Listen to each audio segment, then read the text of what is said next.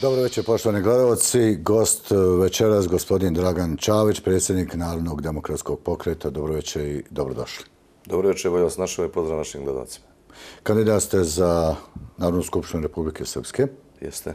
Također, vaša stranka je u koaliciji sa PDP-om i SDS-om. Za parlament Bosne i Hercegovine. Za parlament Bosne i Hercegovine. Sa PDP-om. Sa PDP-om. E, zanima me, prije dvije godine e, ste bili, ste se borili za mjesto gradonačelnika Banja Luke i rekli ste da ste za vlast glogov kolac. E, prošli ste kako ste prošli. E, zanima me šta ste e, na ovim izborima za vlast? Isto ili žešće? to je bio odgovor na neku dodiku običajenu kvalifikaciju na račun mene i političke stranke koje vodim. A, pa sam to onako u nekom slikovitom smjestu rekao, naravno u šali, a u suštini. Moj politički stav prema vlasti je jasan, eksponiran već više godina i u njemu nije bilo nikakvih devijacija u smislu bilo kakvog koketiranja sa, sa režimom o, koga čine Savjezna zavisnih socijaldemokrata, DNS i Socialistička partija u Republike Srpskoj. Ja sam još prije prilike šest, šest godina jasno rekao da sa režimom ne treba pregovarati. Režim se ruši i to je osnovno pravilo i svako ko se upušta u avanturu da sa režimom pregovara, u stvari radi potpuno bespotreban posao. Ovaj, u to vrijeme su mnogi te moje kvalifikacije prilike definisali kao neku političku ludost, kao nešto što ne odgovara stvarnosti. A u posljednjih, pogotovo godinu dana, to se do te mjere izdiferenciralo, izbrusilo smo praktično na sad na jednoj strani, svi mi drugi koji nismo u ovom bloku tri političke stranke. I da tako misle i oni koji, koji danas čine taj i Savez za promjene, ali brojni drugi koji nisu politički angažovani koji nisu u Savez za promjene. Šta ćete uraditi ako ne slušite režim? Ja sam ubjeđen da će građani Republike Srpske potpuno jasno i, i, i na, na izborima, ukoliko ne bude krađe i otimačine i namještanja, pobjediti današnju vlast u Republike Srpskoj zato što poslije devet godina niko ne živi u medu i mlijeku kako on to prikazuje. Znate, danas je kad upalite posebno ovaj oficijalni kanal, dakle, javni servis Radio Televizije Republike Srpske, dovoljno je uzmete šnjitu hljeba i podbacite ispod televizora, iz televizora teče i med i mlijeko. Samo čašu i šnjitu hljeba, namaži i popiji. A realan život je nešto sasvim drugo, ljudi više ne žive u filmu u kojem smo da žive doskora u tom filmu Fata Morgane koji proizvode e, ljudi iz vladajućeg režima. Što zamjerate? Stvaraju prilike sliku, znate, e, ne, nekakvu idiličnu sliku i ubjeđuju građane na onom principu da li vi vjerujete svojim očima ili mojim riječima. Ali ljudi... činjenim se da gospodin Dodik devet godina vlada. Tačno je. Rada devet godina na temelju izvoljne... Ili teče mlijeko ili građani ne vide. Pa mislim da je danas svima jasno da med i mlijeko ne teče i da med i mlijeko teče samo, samo maloj šačici ljudi koji se nalaze oko Dodika i njemu lično. Republika Srpska danas ima vrlo loše makroekonomske pokazatelje. Ja ću nabrajati samo neke fakte koje niko ne može da ospori. 1. januara 2006. godine, odnosno 1. marta, kad su oni preuzeli vlast 2006. godine, a to je demokratske volje, tada skupštinske većine, pa ja sam akter te cijele priče jedne političke promjene. Od tada do danas oni su imali stalnu skupštinsku većinu i u tom periodu 9 godina potrošili su 13,5 milijardi konvertivnih maraka budžetskih novaca. Samo u dva van budžetska fonda, fondu PIO i fondu zdravstva, potrošili su dodatnih 10 milijardi konvertivnih maraka. Na eskor računu gdje su bila sredstva od privatizacije sukcesije imovine bivše Jugoslavije, od privatizacije državnog kapitala i od onog što je ostalo od bivše Jugoslavije, bilo oko 2 milijarde i to je potrošeno. Na sve to ova vlast je u proteklih uh, devet godina, devet budžetskih godina je u Republiku Srpskoj, ovaj, Republiku Srpskoj natovarila sa dodatnih 5,5 milijardi novih kreditnih zaduženja. Gdje je otišao? Isto vremeno. U što je uloženo? Pa najveći dio tog novca je otišao s jedne strane u javnu potrošnju, odnosno u, u, u troškove administracije. Kad kažem troškove administracije, mislim i na, na, na ličnu potrošnju administracije, ali opštu potrošnju administracije kroz skupe objekte, zgrade za, za kan, kancelarijski namještaj, skupa vozila. Jedan dio je otišao u javne infrastrukturne radove i nema nikakve tajne. Najveći dio tih poslova se ugovarao na, sa, na vrlo prizemnom principu. E, dogovaranje i provođenja javnih postupaka nabavke pod, na, pod navodnim znacima. Pa, to, te, to nikakve tajne nema u cijeloj Bosni i Hercegovini. Onaj ko donosi odluku da provode javne radove, gotovo pravilo se ugrađuje u cijenu i, i, i u to iz, iz te ugrađene cijene izvla, izvlači ličnu korist. U direktnoj sprezi i dogovoru sa ljudima koji su pod navodnim znacima pobjedili nekom javnom natječaju. Kako onda komentirate izjavu gospodina Dodika koji je rekao da se ne zdaje na ove izbore izlazi čistog obraza? Pa on to misli, ja kako radi pravosuđe i policija u Republike Srpskoj, on to može reći ako mu je to kriterijum za utvrđivanje čistog obraza.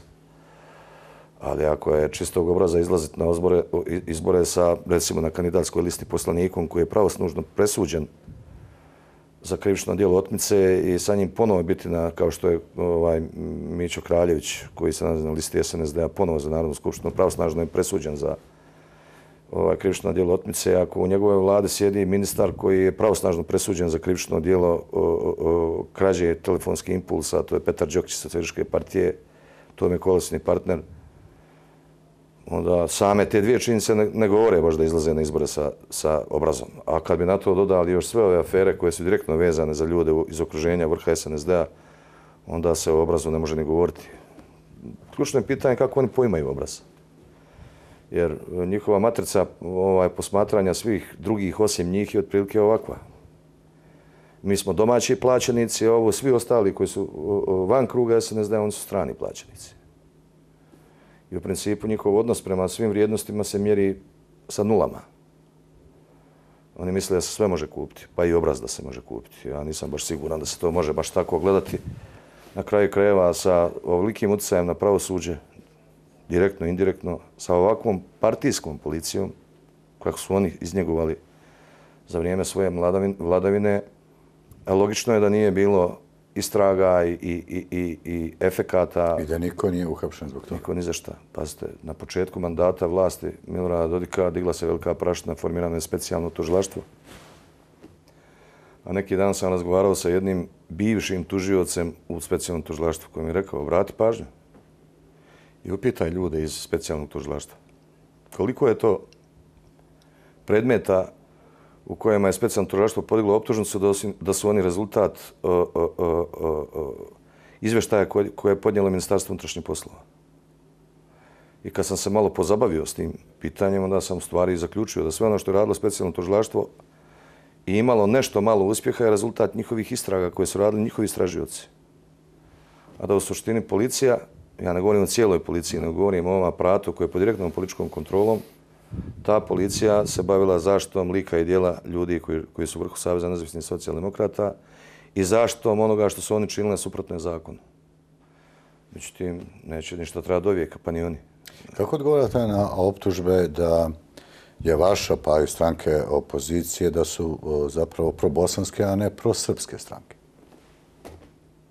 Pa to je matrica na kojoj Dodik uspjeva u, u, u, u posljednjih devet godina da stvori privid kod, kod biračkog tijela, srpskog biračkog tijela, da je on stvari jedini i ekskluzivni pa zaštitnik srpskih nacionalnih interesa. To je matrica na kojoj on otprilike gradi uh, utisak kod, kod birača, na koje naravno preferira kao i sve druge stranke iz Republike Srpske, u smislu da jedino on može obezbijediti sigurnu i garantovanu perspektivu Republike Srpske. Imaju on tu i ekstremnijih stavova, da je on jedini koji će Republiku Srpsku dovesti na put samostalnosti i, i od nje načiniti državu, da će on provesti referendum, da i naravno da u tom kontekstu njegove vizije, kako želi da se predstavi, e, svi koji, koji ga i ole kritikuju, dolaze na stup srama kada on to izgovori, kvalifikujući da provode probosansku politiku. Šta je cilj uh, Dodikovog potenciranja i stalnog permanentne priče o tome samostalnost Republike Srpske, država Republika Srpska, nestanak Bosne i Hercegovine? Je li to prikrivanje svega ovoga što ste vi govorili? On s jedne strane želi... On... Manipulacija patriotizmom, manipulacija glasačima. Ona je to, je to osnovni, politička priča. Osnovni cilj je manipulacija i održavanje nade I on u posljednje vrijeme se prebacio sa kolosijeka, znate, onoga ja ću vas vizati na put samostalnosti, na kolosijek ja ću vas povesti na put samostalnosti. I on želi jednostavno na toj političkoj priči da dugo traje. I on sad u zadnje vrijeme stalno govori, da, nije to, to je proces, mi to ne možemo da provedemo, ja ne znam da li će za mog života da se dogodi, ali mi moramo održavati tu ideju i ja ću biti taj, ja ću biti taj koji će, koji će voditi ka tom putu. Svi ostali vode ka unitarnoj zemlji, ka unitarnoj Bosni i Hercegovini, kao ukidanju entiteta, ka jačanju države, slabljenju, to su notorne gluposti. Notorne gluposti. Iza te velike, pod navodnim znacima, patriotske priče, krije se jedna sasvim prizemna namjera, to je opustošiti Republiku Srpsku u materijalnom smislu u korist grupce ljudi koji Republikom iz sjene vladaju. Zna se tačno koji su ljudi iz, iz sjene u, u njegovom mandatu podobijali sve velike poslove u javnim radovima i kad su pita infrastrukturni poslovi, poslovi na, na e, autoputevima, putevima i, i oni koji imaju dominaciju velikim javnim preduzećima u smislu izvođenja radova u elektroprivredi. Nema nikakvi tajni i sve će to jednog dana doći na vidjelo. Tu nema nikakve dileme. Njegov osnovni strah nije strah od opozicije. On ima u stvari strah od samog sebe jer je potpuno svjestan šta je sam uradio i zna da nije, nije lud čovjek. On je ako ništa drugo, vispreni i, i, i, i vrlo pronicljiv. Kako su očekivanja vaše stranke i vas lično nakon ovih izbora? Rezultata? Mi smo svjesni, svjesni svoje snage. Narodni demokratski pokret je nastavio udruženjem tri političke stranke. To je demokratska partija na čijem sam ja bio čelu, Narodna demokratska stranka na čijem čelu je bio gospodin Krstoj Andrijević i Nova socijalistička partija na čijem čelu je bio Zdravko Krsmanović. Pored toga nama su prišli i u nekim lokalnim sredinima značajni ljudi iz SDS-a i SNSD-a koji su bili vrlo uticajni u tim sredinama. Najveći primjer.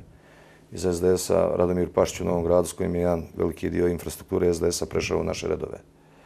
U Bijeljini u, Lopar, u Loparama, primjer radi ovaj, Dragan Đokić koji je tamo bio predsjednik odborničkog kluba SNSD-a sa velikim brojem članova SNSD-a prešao u Narodni demokratski pokret. Ili bivši predsjednik gradskog odbora u, u Bijeljini SNSD-a Vojni Mitrović je prešao u, u Narodni demokratski pokret. Desilo se i ovdje u Istočnom Sarajevu. Bivši načelnik opštine ovaj, Mišo Drašković, Istočno Novo Sarajevo, sa velikom grupom ljudi koji su ranije bili u SDS-u, danas u NDP-u. I sada ne nabrajam, mi to nismo pravili od toga veliku priču, ali je činjenica da svi ti ljudi došli u, u, u Narodni demokratski pokret iz jednog jednog razloga, zbog principijalne politike. Što je ukoliko opozicija ne pobjedi? Pa ja neću da gledam u kulu. Demokratski demokratski i pobjediti i biti poražen. Ja samo jednu stvar želim i govorim to stalno. Ovaj, želim da pobjeda na izborima bude demokratska.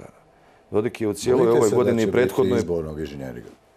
Pa, na svim izborima je bilo, pa će biti sada ovakva rješenja izbornog zakona i način na koji se provodi izborni postupak daju veliki prostor za, za izborni inženjering. Naravno, posebno onima koji donose odluke o sastavu opštske izborne komisije. Evo, najviše vam jedan primjer. Mi imamo vanredne izbore za načelnika opštine Laktaši. Budući da se tam rade samo tri, radi o tri učesnika na izborima, zbog karaktera izbornog zakona, svaki, od izbor, o, svaki u petočlanoj ovaj, opštskoj izbornoj komisiji ima pravo da kanduje samo po jednog člana. I u petočlanim biračkim odborima ima pravo da kanduje po jednog člana. Po zakonu, ostatak od dva e, utvrđuje lokalna zajednica, odnosno opštinska vlast, a opštinska vlast u Laktašima je rukama SNSD-a tako da će SNSD na biračkim mjestima imati svog jednog kandidata po osnovu izbornog zakona. E, naš kandidat, odnosno kandidat koalicije će imati jednog posmatrača i treći će imati jednog, pardon, člana biračkog odbora na svakom biračkom mjestu. A preostala dva će opet biti SNSD-ova jer će oni pod tom, pod navodnim znacima nezavisnih kandidata u stvari dove svoje ljude. Potpuna kontrola želite. Potpuna kontrola na biračkom mjestu. Tako da je sa, i sam postupak e, primjedbovanja i, i, i utvrđivanja nepravilnosti na biračkom mjestu je prekomplikovan za brzo i efikasno reagovanje i imam osjećaj da svi oni koji čine većinu u parlamentu Bosne i Hercegovine godinama izbjegavaju da se ozbiljno izmijeni izborni zakon da bi se mnoge stvari popravile. Nema nikakve tajne. Ovaj, jasno je da se razmjenjuju članovi biračkih odbora ili čak i prodaju članovi biračkih odbora od strane stranaka koje su registrovane za izbore. Da, da pa nam se dešava da na jednom biračkom mjestu, primjer radi, imate ne znam ja, da ne shvati niko pogrešno, imate SNSD, imate NDP, imate, ne znam ja, HDZ, imate SDU ili ne znam ja, bilo koju drugu stranku, a u suštini to u stvari na tom mjestu budu svi članovi iz jedne stranke. Jer su prodali mjesta svoje. Jer su svoja biračka mjesta ili razmijenili, prodali sa ostalima i praktično jedna stranka na jednom biračkom mjestu prebrojava i utvrđuje, provodi izborni proces. Ja ću navesti primjer desilo se u Banja Luci na lokalnim izborima na dva biračka mjesta da izlaznost bila preko 90%. I da na tim biračkim mjestima je SNSD je pobjedio sa 90%. Što je nemoguća misija. Niko nije glasao protiv. Čak je to e, i utvrđeno nakladnom istragom jer je to ovaj, bilo predmet, e, predmet prijave koje je podnio PDP, ali naravno nije bilo sankcije, odgovarajuće sankcije za to. Hoću e, reći da, da je mogući izborni inženjering i mi ćemo nastojati svim silama, naravno, svi učesnici iz ovog bloka opozicije Saveza za promjene koga čini, čine ove stranke, o čemu nismo smo najmanje govorili, SDS, PDP, e, NDP i još druge stranke, mi ćemo nastojati da, da koordinirano pokrijemo sva biračka mjesta svugdje, što posmatračima na biračkim mjestima i naravno svojim prisutnim članovima biračkih odbora koji su već utvrđeni i da spriječimo bilo kakvu krađu. E, gospodin Čavić, član glavnog odbora e, SNZ-a Staša Košarac ocjenjuje da istupi lidera opozicije predstavljaju demonstraciju nekompetentnosti, bezidejnosti, laži i političkih tračeva kojima će u narodnih 30 dana pokušavati da pridobiju glasače. Kako to komentirate? Kako bi komentarisao? Juče sam vidio priučnik koga imaju uh, učesnici izbranog procesa iz SNSD-a kao, uh, uh kako bih rekao, osnov za političko djelovanje prema građanima. I to praktično nema ničeg drugog osim uh, njihovog političkog stava prema statusu Republike Srpske unutar Bosne i Hercegovine, pitanjima nadležnosti, odnosno o poznatoj temi koja naravno se zloupotrebljava s njihove strane s namjerom da se kod, kod građana u Republike stvori utisak da su oni stranka koja je e, e, isključivo sposobna zaštiti interesa Srba u Bosni i Hercegovini i Republike Srpske kao države u državi. To je njihova osnovna politička postavka. U njihovim materijalima ne postoji nikakav, ali baš nikakav, i u njihovom političkom djelovanju prema javnosti, nikakav politički stav kako prekinuti e, taj, taj začarani krug zaduženosti. Kako riješiti problem da do 22. godine budžet Republike Srpske će imati najmanje 500 miliona na godišnjem nivou obaveza po osnovu unutrašnjeg vanjskog duga. Kako riješiti deficite i, i, i, i ogromne deficite u van budžetskim fondovima, prije svega u fondu zdravstva, a zatim u fondu PIO. Kako riješiti teški problem hroničnog deficita u budžetu Republike. Na koji način riješiti uh, uh, uh, pitanje preopterećenosti porezima, posebno opterećenjima na plate koje su najveće u regionu. Kako sprečiti da nam se broj zaposlenih penzionera izjednači jer je to na samom pragu kako povećati zaposlenost, na koji način privući ili ostvariti, omogućiti da se pojavi investicije. To ne postoji u vokabularu ni Staše Košarca, niti predstavnik drugih političkih predstavnika SNSD-a. Vlast koja dođe, naravno kako riješiti naraslu korupciju i kriminal, na koji način i konačno i definitivno rašiti svu situaciju oko onoga ko je opljačkao birač, ko je opljačkao Balkan Investment banku, koje, koje je e, e, zamijenio zemljište poljoprivredne škole u Banja Luci, dobio 400 duluma i pod, pod kojim uslovima za bezvrijednu zemlju u seoskom okruženju i tako dalje i tako dalje. Čitav je niz nerješenja afera. Na, te, na ta pitanja odgovora nema. E, njihova osnovna matrica i postavka je e, mi smo patriote, a s druge strane imate one koji vode neku pod navodnim znacima probosansku politiku. Ili ste izdajnici? Ili, ili, tako, ili, ili ta vrsta dobro plaćeni? Naravno, da rušite režim. To je jedin, jedini način da se zadrže na vlasti oni koji su od vlasti stekli ogroman imetak i odbili u prethodnim godinama. Kako to ne vide birači? Kako to ne ja vide građani Bosne? Ja mislim da konačno vide i da za razliku od dosadašnjih izbora ovaj put većina građana Republike Srpske apsolutno zna o čemu se radi. Sinoć ste imali zablude. promociju, odnosno početak izvorne kampanje u, u Sportskoj dvorani? Pa to je bio jedan, jedno, jedan izuzetno snažan skup, pun energije. Ja mogu reći da sam zadnji put takav skup vidio 2000. godine uh, u Banja Luci, tak, tako impozantnih razmjera i sa takvom energijom i voljom ljudi. Kiša je lila kao iz kabla, 10.000 ljudi se skupilo pred dvoranom Boriki, u dvorani Borik koja inače može da primi 3 do 4.000 ovaj, gledalaca bez jedne stolice u parteru. Oko 8.000 ljudi je bilo u dvorani Borik, još 2 do 3.000 su bili ispred dvorane Borik više od pola njih su bili Banja Lučani, a kiša je lila kao, kao da iz kabla se zaliva. Meni je to samo bio pokazatelj da, da, a odavno sam u politici, da postoji nešto što je došlo do limita, došlo do granice i da ljudi žele ozbiljnu promjenu. Eh, moj je utisak da, da većina ljudi ustavno ne želi da pokaže tu svoju želju za promjenu do onog dana kada dođe u priliku da, da ovaj, eh, eh, glasa tamo na biračkom mjestu za pravana, jer Mnogo je ljudi u strahu, znate. Vlast nema nikakvih skrupula u pretnjama. Evo, juče je Milorad Dodik tu, nažalost, mi imamo takvog predsjednika Republike koji se ne stidi ničega, pa se drugi ljudi moraju stiditi umjesto njega. Juče je tu na skupu u istočnom Sarajevu za ove nesetne ljude koji protestuju ispred ove fabrike rasklopne opreme, koji su prevareni od predsjednik, predsjednice vlade i njega lično i koje traže zašto svojih prava jer nisu povezani radni staž, isplaćene plate, zaostale plate je rekao ovako, vjerovali ili ne, to možda da, da, da to govori čovjek koji, koji obavlja ovako visoku javnu funkciju. Riješću problem zaposlenih u Raupu, ali svaki koji mi se pojavi na BN televiziji, ja ga lično vidim i saznam da se pojavio, njegov problem neće biti riješen. A možete vi misliti kako je se frustriranost tog čovjeka radi i, i, i na koji način kod nas stvari funkcioniše sistem. Ljudi se boje. Na svakom koraku u Republici ja susrećem ljude koji se boje. Boje se zbog nečega. Boje se da se saznate da je protiv režima pa će ostati bez prava na školovanje, upis djeteta u vrtić ili bilo šta. Ljudi su jednostavno zastrašeni, ja mislim da će taj strah prestati i to je ono što mi nastojimo. Su to posljedice ukoliko Ognjen Tadić ne pobjedi Milorada Dodika? Neka od posljedica. Pa gledajte, i, sinoć je Milorad Dodik rekao još jednu stvar. Ovaj, ako ja budem predsjednik, ako ja budem predsjednik, a, a, a, a budem, morao, budem, budem u situaciji da moram davati mandat ovaj, za predsjednika vlade, Bosiću ne dam i ako mi donese potpise 70 poslanika. On je već unaprijed najavio da će praviti krizu ukoliko se desi promjena. Ljudi moraju da znaju, građani Republike Srpske, da je on s time sinoć manifestovao i rekao da nije spreman ni na kakvu kohabitaciju. Nego da ukoliko se desi da on slučajno pobjede za predsjednik Republike, a skupska većina bude na drugoj strani, da će on razrušiti praktično Republiku Srpsku i njen ustavni poredak. On koji se Juče je prekršio, pa on proizvodi događaje. Izgradnju Jeste za demokratiju i, i poziva na jednu korektnu predizbornu kampanju. To je potpuno degutantno i, i suprotno njegovim, njegovim riječima. Ovaj, e, u zadnja dva, tri dana je lansirao tezu, to je juče dao intervju jednom, jednim novinama je rekao da će on poslije ovaj, izbora e, provesti ustavne promjene na način da će Republika Srpska uspostaviti predsjednički, predsjednički sistem.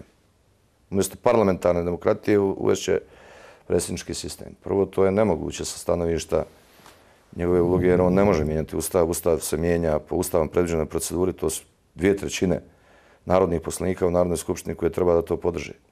Šta on u stvari hoće? U Republike Srpskoj već postoji predsjednički sistem, ali ilegalno. On hoće da kaže da će legalizovati predsjednički sistem. Ja mislim da bi mu pametnije bilo da, da građane odmah poziva da proglasi monarhiju i da sebe ustoliči kraljem Republike Srpske, što je isto tako jedna od iluzija, jednaka kao iluzija o nekom uvođenju predsjedničkog sistema u Republike Srpske. Šta je bolje rješenje za Bosnu i Hercegovini i Republiku Srpsku? A, Mladen Ivanić ili Željka Cvijanović kao član predsjedništva BiH? I zašto? Za Republiku Srpsku je mnogo bolje da član predsjedništva bude gospodin Mladen Ivanić, zato što je to čovjek sa velikim političkim i ličnim iskustvom. Je to dobro i za Bosnu i Hercegovini? Mislim da je dobro i za Bosnu i Hercegovini. Svako onaj ko, ko neće proizvoditi konflikte, a principijelno iznosi svoj politički stav na mjestu gdje se nalazi, je dobar za Bosnu i Hercegovini. Recite mi meni, kakav smisao ima da u, u, za člana predsjedništva dođe osoba koja će morati da pita drugog za donošenje svog stava, a to je Željka Cvijanović. Ona ne može donijeti njenu odluku ni kao predsjednik vlade, mora pitati Milorada Dodika kako onda očekivati da osoba koja nema nikakve autonomije, samostalnosti, donošenja odluka, koja je potpuno uh, politički labilna, može biti uh, uh, za, za interese Srba, gdje se oni brane praktično u, u predsjedništu Bosne i Hercegovine, dobro rješenje. Pa ja mislim da ne može. Da li bi eventualnom pobjedom Mladena Ivanića kosta, konačno predstavila priča o sukobu Sarajevo, Banja Luka, Mostar, podjele, strah, država, samostalnost? Pa ne može to sam Mladen Ivanić donijeti, niti bilo ko. Dobro pozicija. I, Mladen, i, i, i Milorad Dodik kad bi ovog trenutka promijenio svoj stav koji je često rigidan, da. on to ne može sam učiniti ako to ne rade i to ne doprinosi Kome zapravo odgovara stalno potencijiranje sukoba koji ne postoji realno? Molim vas, ne postoji odgovara svima Sarajevo, onima, Banja Luka. I svima onima koji iza uh, te, te, uh, uh, tog političkog stava stvari kriju ono najprizemniju namjeru, vladanje radi interesa onaj ko danas ovaj, e, e, stalno provocira tu vrstu konflikta, verbalnog konflikta na relaciji Banja Luka-Sarajevo, bilo da on to započinje iz Sarajeva, dobija odgovor iz Banja Luke u dogovoru sa onim koji ili izaziva ili odgovara na prozivku. Niko mene ne može da govori da, da, da su u stvarnom ideološkom konfliktu i političkom konfliktu ljudi koji poslije teških riječi koji razmijenu kao artiljerijska zrna relacije Banja Luka Sarajeva, a sutra dan sjednu i, i, i zajednički provedu dan pijući, e, e, jedući i dogovarajući zajedničke poslove sa zajedničkim izvođačima radova. Znate, vrlo jednostavno. Izvođači radova iz Banja Luke su jako dobri za naručioce iz Sarajeva. I izvođači iz Sarajeva za naručioce iz Banja Luke. Kad se te stvari dogovore, iza toga slijedi ova verbalna artiljerija o kojoj vi govorite. Puste tu priču, pa ta priča je davno pročitana. Dakle, tačna informacija da je, da je pojedinim liderama vladajućih stranaka A nije u interesu uopšte priča o Europskoj uniji i reformama, jer tad gube svoju moć. Gledajte, molim vas, kakva, što, što će njima reforme? Evo, primjer, u Banja Luci, onom famoznom, famozni Picin park u kome se gradi, gradi ona, onaj objekat koji je namijenjen, uh, koji je ranije namijenjen ovaj, bio za se proda Telekomu, pa je ta priča poprilično propala. Radove na njoj iz, izvodila firma koja je ovdje bila akter one, one afere Kofer. A nekim ljudima odavde iz federacije radove na njihovim privatnim imanjima izvode firme iz Banja Luke. Ja znam u kojima, ali evo neću to govoriti ovom priliku. Po moru i ne znam, ja po Hercegovini. A ti ljudi, ti ljudi između sebe, oni na javnoj sceni proizvode ovu vrstu konfrontacije iz dana u dan. Čekajte. I onda su svi ovaj, građani bilo koje nacionalnosti u Bosni i Hercegovini u stvari ovce za šišanje. Koji, koji stalno podšišava, jer ona uvijek ima, ona stalno raste. Ti koji prave političku priču na, na, na tom temelju. Kada e, Bakir Izetbegović iziđe i, i, i oplete po statusu Srba i kaže Srbima nosite svoje, svoje iziđete samo na sa blatom na cipelama koje ste ovdje donijeli ili nešto tako, sad ja ne mogu da sjetim tačno što je rekao, odmah slijedi odgovor iz Banja Luke, da je, da je Sarajevo Teheran. A sutra dan ljudi zajednički sjedaju i dogovaraju poslove koje nemaju nikakve veze, sa nacionalizmom. Je li to način da se, da se gradi budućnost ove zemlje? To je način da se rastira sve ono što je normalno iz ove zemlje. Bilo da, da, da, da se zove Mirso ili da se zove Jovo ili da se zove Franjo. Ne mogu ljudi da žive u zemlji u kojoj, u kojoj o, o, normalni ljudi ne mogu da žive u zemlji u kojoj tenzija i konfrontacija u stvari postao model života. Što mislite o koaliciji domovina? Pa ja mislim da je ta koalicija napravljena sa, sa e, interesom da snažno djeluje na prostoru Republike Srpske e, i utiče na institucionalni rad. Zbog, e, da vas postavim, koalicija za Slovitu Bosne i Hercegovine je postojala na izborima, čini mi se, 1998. godine, posljednji put, vrlo slično koaliciji domovina, sa istom motivacijom da budu više zastupljeni u parlamentarnom životu. Legitimno pravo ljudi da, se, da naprave koaliciju, ali će morati prihvatiti demokratske standarde koji postoje u, u, u, u i zakone koje definiše, definišu rad Narodne skupštine i institucija u Republike Srpskoj. Oni predviđaju da će uzeti sedam mjesta u Narodnoj skupštini Republike Srpske. Pa to uopšte nije isključeno, s obzirom na, na biračko tijelo, bošnjačko biračko Brine tijelo. Brine li vas to? Molim? Brine li vas to? Što bi me brinulo? Znate? Da li je ta koalicija opasnost? A je li opasno za Republiku Srpsku 1996. godine posle prvih vješ straničkih izbora bilo 18 bošnjaka koji je bilo u Narodnoj skupštini? Naravno da nije. Od tada je prošlo 20 godina. Ima li Republike Srpske ili nema? Iduće godine će biti 20 godina od Daytona do danas. Pa nema nikakvog straha od bilo koga. Ako čovjek ima poštene namjere i, i, i principijalan politički stav i poštuje da ljudi imaju pravo da iznose svoj politički stav na demokratski način, pa u čemu je problem? Za mene koalicija domovina je izraz politički stav stranaka koje su takvu koaliciju napravili. Kao što smo mi u Republike Srpskoj napravili koaliciju Saveza promjene i istorili jedinstvene kandidate za predsjednika člana predsjedništva Bosne i Hercegovine. Ili kao što smo recimo PDP i NDP napravili koalicijonu listu zajedničku za parlament Bosne i Hercegovine. Ima i koalicija u federalnom parlamentu, pa mi smo za federalni parlament istorili koaliciju e, e, uh, uh, NDP, NDP i, i, i uh, ovaj, SNS, Srpska napredna stranka. Još dva pitanja u ovom razgovoru. E, prvo glasi ovako. E, hoće li i kako, i da li će uopće, e, zvanični Beograd utjecati na izbore u Bosni i Hercegovini, odnosno u RS-u? Ja mislim da neće. Politika, na kraju krajeva to je potpuno jasan i oficijalan stav vladajuće stranke, Srpske napredne stranke i, i gospodina Vučića kao premijera mislim da tu vrstu e, involviranja u direktan izborni proces neće prihvatiti socijalistička partija, ona tradicionalno svoj, svoju filijalu u Republike Srpskoj uvijek pomaže u izbornom procesu i ovaj put se može očekivati da će Ivica Dačić biti prisutan na skupovima socijalističke partije, ali koliko vidim, Srpska napredna stranka čak ne podržava, ni se javno izjašnjava o, o, o stranci pod istim imenom u Republike Srpskoj. Ona postoji i egzistira nije nikakva tajna da e, SNS ima prijateljsku naklonost, govorimo o političkoj organizaciji SNS-u i njihov, njihovom članstvu prema opoziciji u Republike Srpskoj, posebno prema Srpskoj demokratskoj stranci, da tu postoje odnosi koji su na liniji e, e, ideološki i politički srodnih ovaj, ideja, ali za razliku od prethodnih vlasti u Srbiji koje su direktno bile involvirane u izborni proces u Republike Srpskoj i obrnuto. Milorad Dodik je sebi uzimao za pravo da bude involviran potpuno iz- izborni proces u Srbiji. Ovaj put ja ne vidim spremnost lidera SNS-a da učestvuju u izbornom procesu u Republike Srpskoj i da direktno učestvuju u pomoći opoziciji. Kako komentirate Dodikov uh, uh, odlazak u Moskvu zajedno sa gospođom Cvjanović? Posjeta Putinu. Je li to Pa pogrešan vam, politički prije svega mi ćemo vidjeti, to pa vidite, prije svega ćemo imati prilike da vidimo o čemu se radi. Da li je to to ili je to nešto sasvim drugo. Eh, ja ne mogu da govorim o nečemu što ne znam. Dakle, to, oni će otići navodno tamo, a budući da ja imam sasvim dobre veze, odnosno dobre odnose sa ljudima od ugleda i u, u, u političkom životu Ruske federacije, meni nije teško doći do informacija šta je suština te cijele priče, pa ću onda moći da govorim. Mislim da se to predimenzionira. Dodik želi da stvori privid da on u stvari ima jedini monopol u, u ili ima ekskluziv, ekskluzivno pravo ime Srba da, da održava odnose sa oficijalnom Moskvom, što apsolutno nije tačno.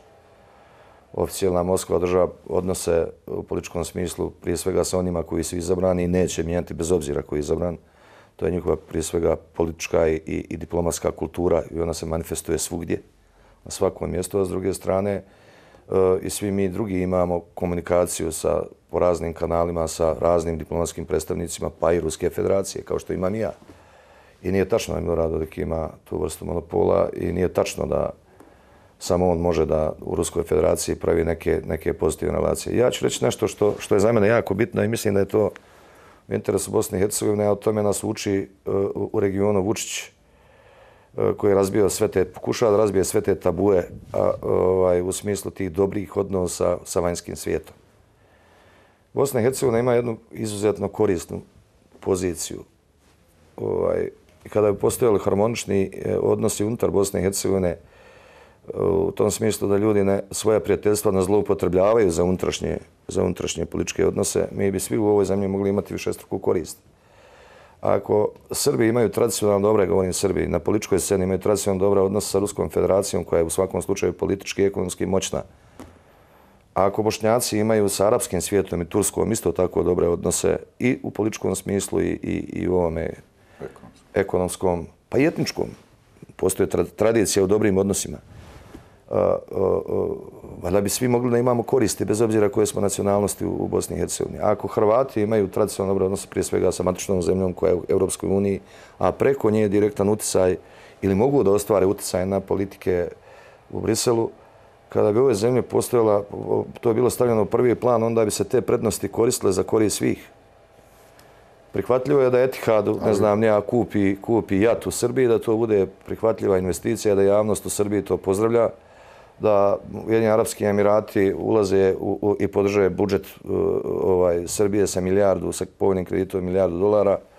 Postalo je prihvatljivo da tamo, ne znam, nija grade Beograd na vodi, govori se investiciji. Da, da, da te velike zemlje imaju časne namere kad je u pitanju Bosne i Hercegovine njeni narodi, naravno. Ja mislim da kada, ja mislim da sve te zemlje imaju časne namjere i da, da priča o nečasnim namjerama polazi iz same Bosne i Hercegovine.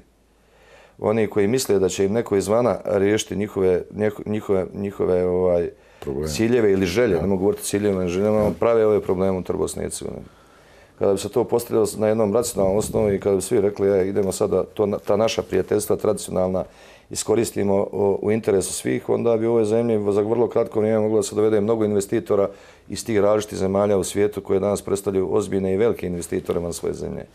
Ali, nažalost, to se koristi za političku konfrontaciju i za stvaranje neke opšte slike sukobljenosti u Bosni i Hercegovini. Onda nam se dešava da ovdje ne investiraju ni iz arapskih zemalja, ovdje ne investiraju ni Ruske, iz Ruske federacije, ni iz Evropske unije. Vrlo kratko pitanje na kraju, iscurilo vam je vrijeme.